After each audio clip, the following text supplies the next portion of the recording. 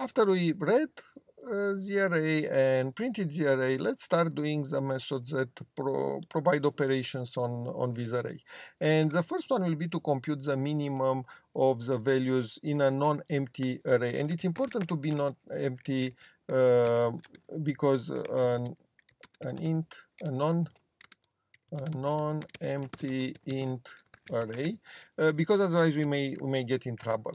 So return uh, an int the the minim, minimum value in the array an int.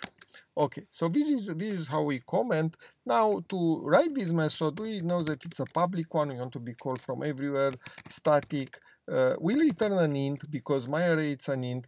I can name it just min because I am in the class int array. So all what I'm doing it's about int arrays. So I don't need to, to provide the better name min, it's enough. But I need to provide the array from which we want to compute the minimum. And uh, now I need to return a result. Let's return 0 just not to get an error and then we'll start doing our method. Now uh, I want to compute a minimum value and as always I can start with the first value in the array considering that this one is a minimum. Then I will try all the other values so starting with uh, the second value which has the index 1 and I will go to the last value n minus 1 and I will go from value to value if my uh, current value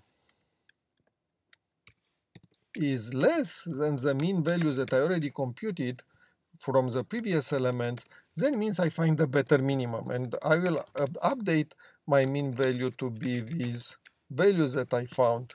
And this will be the new minimum of, uh, of the array. So I will do this for all the elements and then at the end I will have, um, here it's the n is the array length. Uh, I will have the minimum value of all the values and I return that value as a result. So this is a classical minimum, we wrote it many times, but here I wrote it in as, as a library function.